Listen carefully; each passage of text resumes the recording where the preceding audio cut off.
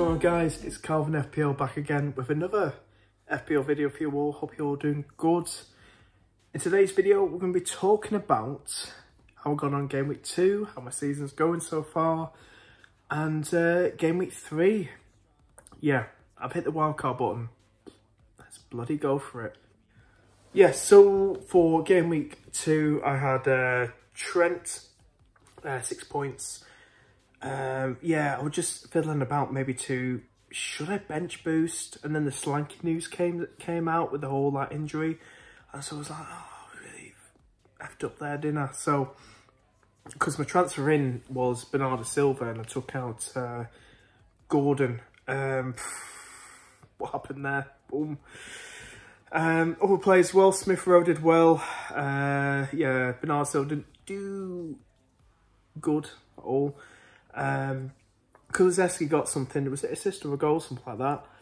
Um, I had Haaland in. A lot of people triple captained Haaland. I was like, really? What happened to the double game weeks? Wait for that. But what I'm hearing now, we're not going to get many double game weeks. So that's a pain in the ass. Is it a good thing? Is it a blessing in disguise? Because not like getting the straight. You know what I'm like? I'm chips guys. I'm like, I'm, I just get rid of them early on. Uh, so yeah, I benched uh, Raya um, I was debating whether to start Robertson or Rogers. I started Rogers. I thought attack and returns there. Bloody Robertson did better. He conceded, but he got an assist and bonus, I think. Uh, but Raya, my God. 10 points, Henderson, one point. I just thought, he's playing Aston Villa. Aston Villa probably score goals, something like that.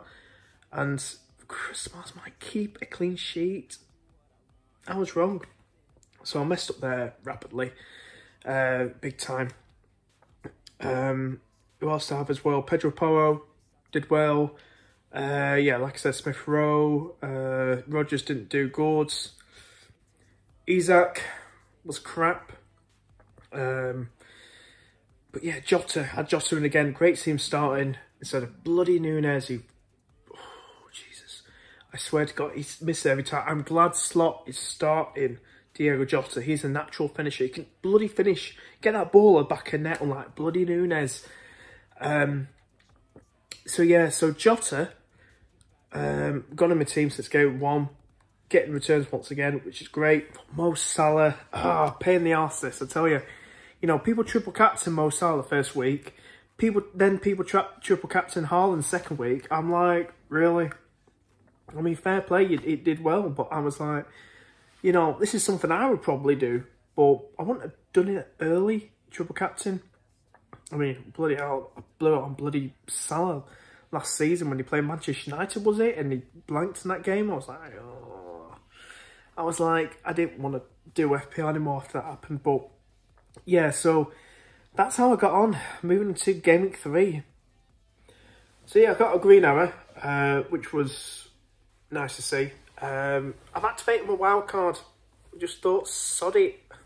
I'm activating it. You know, people activating the bloody triple captainship. Not done that yet. And I've not got rid of bench boost yet. As a lot of you may know, I don't like the bench boost chip. So, yeah, this is the team I've gone for. I made quite a lot of changes. I just thought to myself, it's time to get in the likes of Palmer, Salah in my team. Um, the time is now. So this team this squad has like 0.4 in the bank.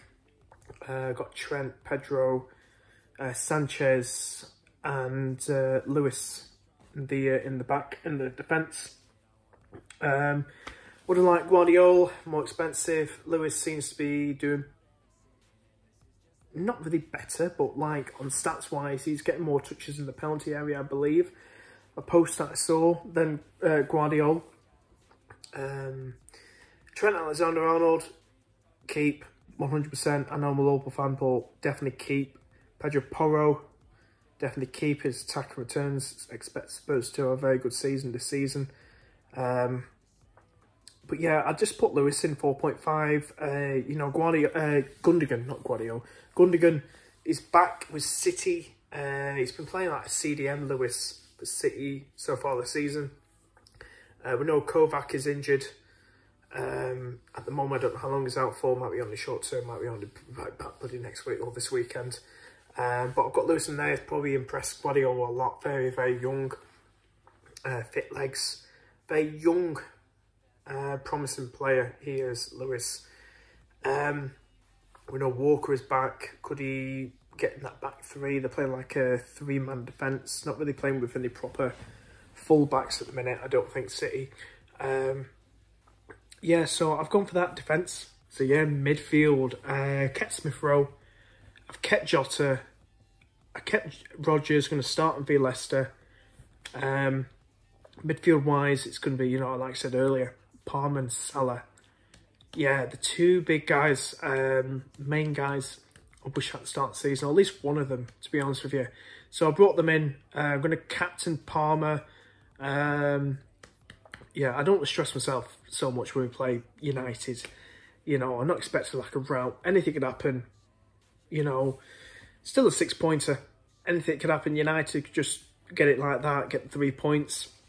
It could be a board draw. Who knows? But I'm going to go for Palmer. He's on Saturday, I believe. Um, three o'clock, isn't it? So I'm going to put him as captain. You know, Chris Pass lost it. Andersen could lose. Guéhi to Newcastle before uh, this weekend, and they're you know a bit shaky in that defence. Then you know lost some good defensive uh, players there. So I'm going to go for Palmer. We know his quality. He did fantastic against Wolves. Um, yeah, so that's my uh, that's my midfield. Look at the forward line now. Haaland, game week one, set and forget, boom. Um, and Danny Welbeck up front. So yeah, he's got a tough game against Arsenal. Um, but this Brighton man's doing well. He's only 31 years of age. And I think, uh, watch that game against Manchester United. Oh, you know, I rate Arsenal better than Manchester United for the last couple of years. Um, well, for a while. And um, I just think uh, this, this guy looks promising. This, this guy honestly looks so promising uh, for him. Uh, he's got some good uh, transfers come in. He's recruited well. And I think uh, Danny Welbeck is the guy to probably go for. After the Arsenal fixtures, what's got Ipswich and all that afterwards. And I think he's, uh, get him in now, see what happens. He could score against Arsenal, you never know. You never know. That's football for you. It's a funny game. You don't know what could happen. I mean, Brighton could bloody well win at the Emirates. We don't know. Could, could cause a surprise. Who knows? So that's what I'm going for uh, in my starting lineup. Uh, bench-wise, as you can see there, yeah, the bench isn't great. Um, the 4 million Aston Villa guy you can see first on the bench.